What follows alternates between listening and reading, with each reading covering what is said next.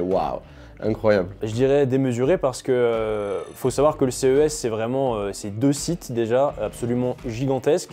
Donc euh, on a euh, l'équivalent de 10 parcs expo euh, de, de Paris, donc euh, la porte de Versailles c'est- complètement fou. Euh, Il y a des innovations euh, en veux-tu en voilà avec euh, des, des stands de corporations qui sont euh, complètement, euh, complètement fous, des lumières partout, euh, des innovations euh, à l'appel. Et on a vu par exemple des hologrammes, le jumeau virtuel, énormément de, compagnies qui faisaient de l'intelligence artificielle, un exosquelette aussi, ça m'a beaucoup impressionné, des véhicules du futur. C'est vraiment ce à quoi on, s'imagine et plus. Et, c'est pour ça que j'utilise ce mot-là. Alors, Galéo en 30 secondes, c'est très simple. C'est un logiciel informatique destiné au centre hospitalier pour pouvoir structurer la donnée médicale dès la saisie par le personnel soignant. Sur ce logiciel, on va poser une surcouche blockchain qui va permettre aux algorithmes d'intelligence artificielle de se déplacer dans les différents hôpitaux pour apprendre des données tout en respectant la vie privée des patients.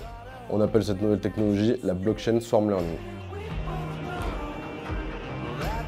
Alors lorsqu'on est une start-up, le CES c'est vraiment un moyen de visibilité et de trouver des contrats énormes.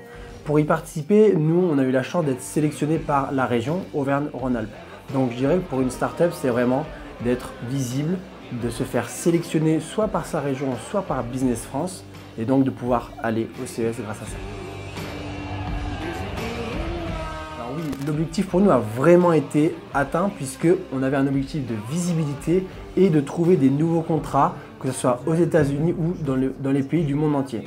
Et vraiment, nous, ce qu'on a apprécié au CES, c'est qu'on a même vu, c'était une surprise, on a vu des hôpitaux français, des DSI des hôpitaux français qui sont venus nous voir pour notre technologie. Donc ça, c'était vraiment énorme, une super surprise.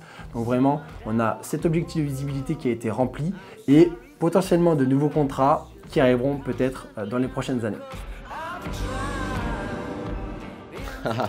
J'espère bien, ouais. Alors bon, c'est un processus de recrutement qui est quand même assez long, qui est plus ou moins complexe. Il faut avoir des bonnes relations avec la région, mais pas que.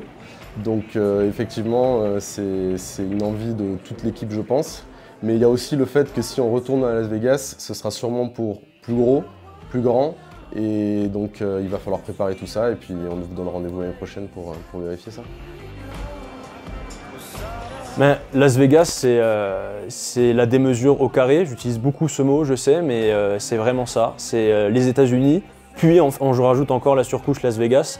Donc c'est-à-dire qu'on est sur une ville qui chauffe les rues. On a des fontaines gigantesques avec des spectacles d'eau partout, une tyrolienne au-dessus de nous, des burgers qui font trois fois notre taille, du sucre dans tous les aliments. Mais voilà, c'est les États-Unis, c'est cette culture-là et c'est juste quelque chose à voir en fait.